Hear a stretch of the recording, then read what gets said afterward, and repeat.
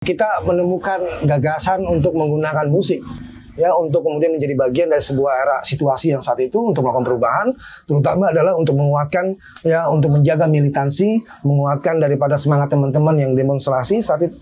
Ya, mahasiswa dan rakyat yang turun ke jalan ya eh, untuk buat sebuah perubahan. Nah kita hadir dengan musik kita kita hadir dengan dengan dengan kebutuhannya untuk juga menjadi yang menyebar semangat perubahan tadi.